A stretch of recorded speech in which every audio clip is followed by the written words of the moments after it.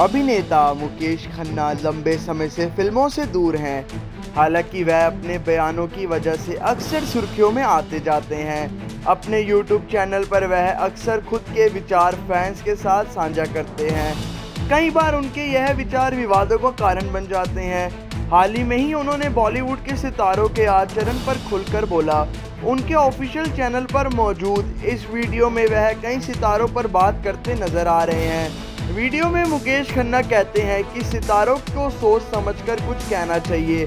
उनका कहना है कि सोशल मीडिया की वजह से अभिनेताओं और आम लोगों के बीच दूरियाँ कम हो गई हैं। यही वजह है कि कई बार उनके बयान लोगों को पसंद नहीं आते, उन्हें गुस्से का शिकार होना पड़ता है।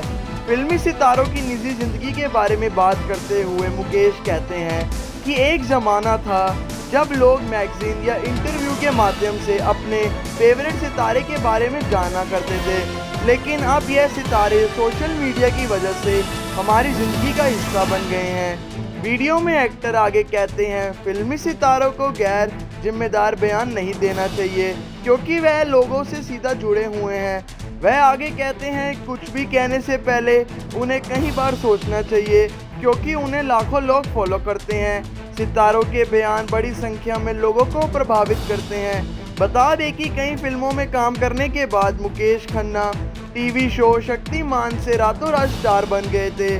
इस सीरियल के बाद उन्हें देश भर में पहचाना जाने लगा था।